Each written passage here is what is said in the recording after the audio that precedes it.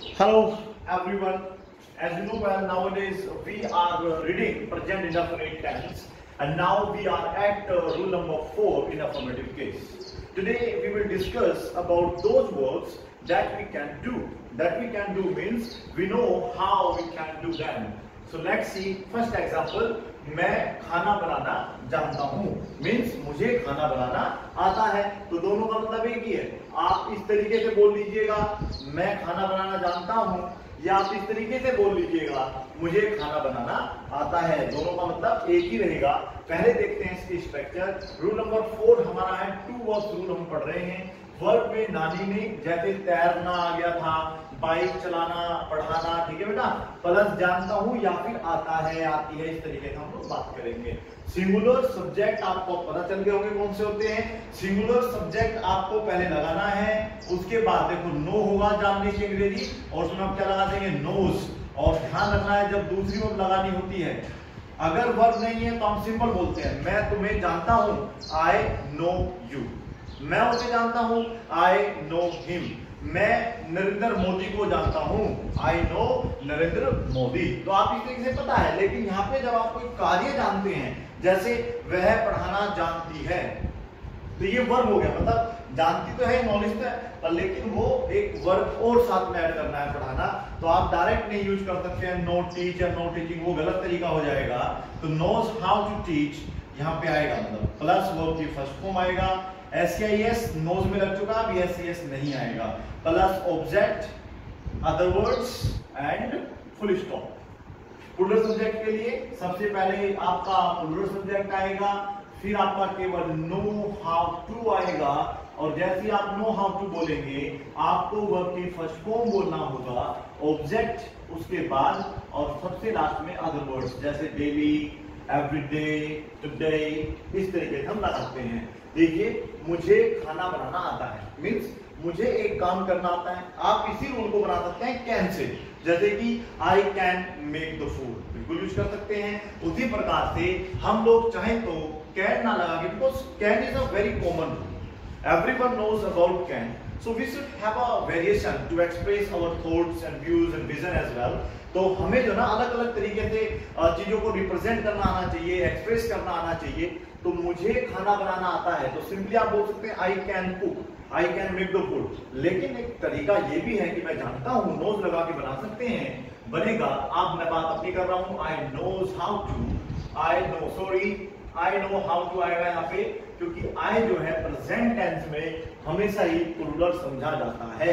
I know how to make the food make the food या cook लगा सकते हैं यहाँ पे आप, कोई दिक्कत नहीं है। I know how to cook ठीक है बेटा? नंबर दूसरा वाक्य देखिएगा। मुझे तैरना आता है। अब ये तो एक काम हुआ ना, आप इसे जानते हैं, आपके पास नॉलेज है, या आपके पास ये एबिलिटी है कि आप तैर सकते हैं। आई नो हाउ टू लगाइएगा। आई नो हाउ टू ठीक है? और उसके बाद लगा दीजिए वर्ब वर्ब क्या है? Swim I know how to swim मैं तैर सकता हूँ। या मुझे तैरना आता है। मुझे बाइक चलानी आती है।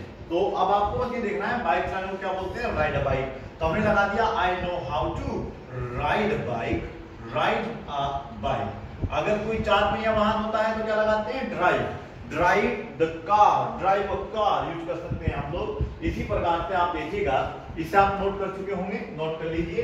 अभी मैं आपको इसका प्रैक्टिस भी सेशन दे देता हूँ कि प्रैक्टिस हमें क्या करनी होगी और कैसे करनी होगी। देखिए। बिना प्रैक्टिस के ये सब पढ़ाई व्यर्थ है, बेकार है यूजलेस है, कोई यूज़ नहीं है उसका। देखिए, आपको सबसे पहले आज लगाना होगा I know how to I know how to क्योंकि केवल यही कुछ कॉमन वाक्य नहीं है जो हम बोलते हैं, और भी बहुत सारे वाक्य हैं जो हम बना सकते हैं। एटलीस्ट टेन ट्वेंटी थर्टी जितने बने उतने बनाने की कोशिश करें। आई नो हाउ टू मुझे पता है कि मैं क्या कर सकता हूँ। I know how to speak English मुझे अंग्रेज़ी बोलनी आती है। मैंने कहा I know how to read Urdu. मुझे उर्दू पढ़ना आता है। इसी तरीके से देखिएगा, अब आई पे तो बना लेंगे। वह पढ़ाना जानती है। अब वह को क्या आई बोलते हैं क्या?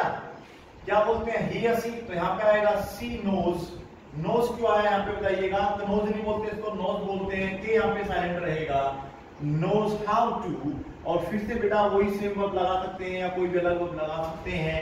मैंने कहा she knows how to play cricket उसे क्रिकेट खेलना आता है और अगर उसे हॉकी खेलना आता है तो she knows how to play hockey आप चेस भी लगा सकते थे। वह पढ़ाना जानती है। तो सी नोज़ हाउ टू आप लगा सकते हैं अपने आप से।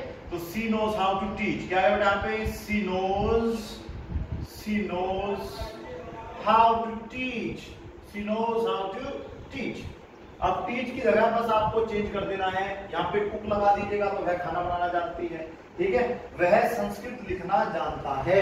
तो जब वो जानता होगा ही होगा तो फिर बेटा आप लोग वहाँ लगा देना। He knows how to he knows how to और बेटा आ जाएगी यहाँ पे भी टेन ट्वेंटी थर्टी बहुत जितना आप यूज़ करना चाहें, वह संस्कृत लिखना जानता है।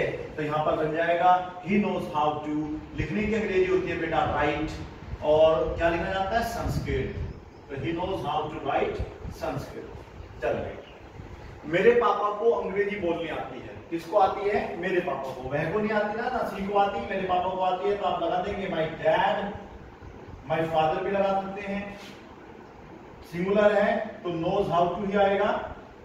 और फिर से वही काम ये करना है आपको कि टेन बॉक्स लगा दीजिएगा। My dad knows how to read English newspaper मेरे पापा को इंग्लिश न्यूज़पेपर पढ़ना आता है। मेरे पापा को अंग्रेज़ी बोलनी आती है तो my father knows how to speak English how to speak English practice करिए, बोलना बिल्कुल आएगा। उसे लोगों से बात करनी आती है। मतलब लोगों को डील करना आता है, लोगों से बिहेव करना आता है। तो यहाँ पर हम लगा सकते हैं, बेटा, उसे मतलब ही आएगा यहाँ पे। वह अगर आएगा तो देखो जानता आएगा। अगर आता है, जानता है ना आता है, खेलना आता है, बात करनी आती है तो फिर वो उससे बच जाता है बेटा, ठीक है? तो he knows how to he knows how to knows लगाइएगा हाउ टू और क्या करना था? बात करनी टॉक विद पीपल टॉक के बाद हमेशा है तो विद लगाना है या टू लगाना है। टोक विद पीपल चलिए। उसे शतरंज खेलना आता है। बस वर्ड देख लीजिए कौन सी है। अब यहाँ पे आप लोग ही नोज़ भी लगा सकते हैं सी नोज़ भी लगा सकते हैं। हाउ टू लगाना है और बता देना है play chess play chess play hockey badminton जो भी गेम खेलना आता है। राजू को पतंग उड़ानी आती है, यानी कि कोई लड़का है राजू तो यहाँ पे हम लगाते हैं राजू। राजू तो एक नाम होता है, सिंगुलर में आएगा नोज़ हाउ टू अब वो एक्शन देख लीजिए, अब ये भी ज़रूरी कि बस राजू को बस एक पतंग उड़ानी आती होगी। हो सकता है उसे कार चलाना भी तो आ सकता है, हो सकता है उसे दौड़ना भी आता हो। तो Raju know how to run run तो सब बच्चे कर सकते हैं। तो यहाँ पर आएगा बेटा fly the kite fly the kite चलिए।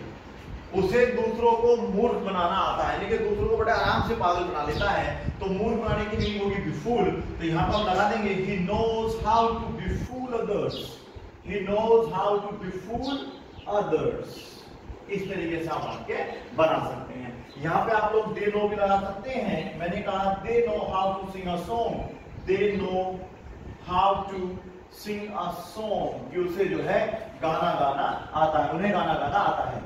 वे गाना गाना जानते हैं, एक ही बात है। वे को या तो हम लोग बेटा वे बोलेंगे यहाँ पे देखो या बोलेंगे उन्हें। वी भी लगा सकते हैं या आपके ऊपर डिपेंड है कि आप क्या लगाएँगे, ठीक है? प्रैक्टिस के लिए इतना काफ़ी है प्रैक्टिस करिएगा और चीज़ों को समझो। देखिए, पहले सब्जेक्ट आता है फिर वर्ब आता है, उसके बाद अगर दूसरी वर्ब लगानी है टू लगा सकते हैं या हाउ टू लगा सकते हैं, फिर वो आप दूसरी वर्ब लगाएँगे, ठीक है? तो अब आप इनकी प्रैक्टिस करिएगा, इसको नोट करिएगा प्रैक्टिस करना आसान है। अगर आप लोग प्लूरल सब्जेक्ट लगा रहे हैं तो नो हाउ टू जैसे कि I know how to I know how to I know how to dance मुझे डांस करना आता है, या they know how to dance उन्हें नाचना आता है, इस तरीके से आप वाक्य बिल्कुल बना सकते हैं। अब आप यह नोट करिए और प्रैक्टिस करिए। Thank you so much for watching.